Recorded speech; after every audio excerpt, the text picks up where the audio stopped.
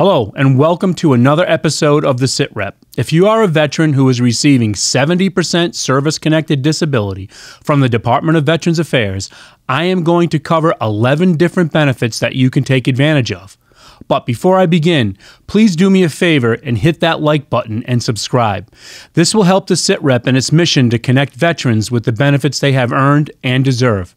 Now, you may not know this, but of the 11 benefits I am going to mention, there is one benefit that only becomes available once a veteran is rated 70% or higher. That benefit is the ability to automatically qualify for long-term care and or community living centers. Senior care is one of the top issues facing families today, and a veteran rated at 70% or more can automatically qualify for senior care.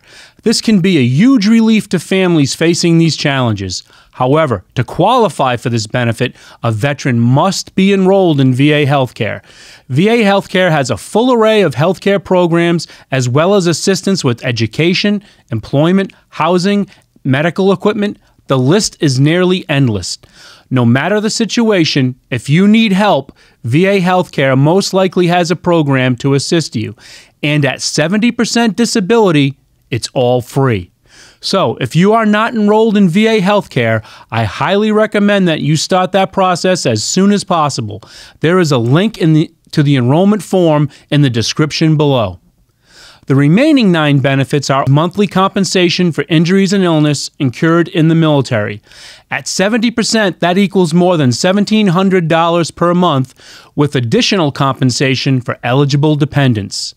Additional benefits include a waiver for VA home loan funding fees, direct hire into open federal positions as long as the veteran is qualified, 10 point preference on the application for federal employment, access to the Veteran Readiness and Employment Program, burial and plot allowance, access to military commissaries and exchanges, and travel allowances for going to VA healthcare appointments.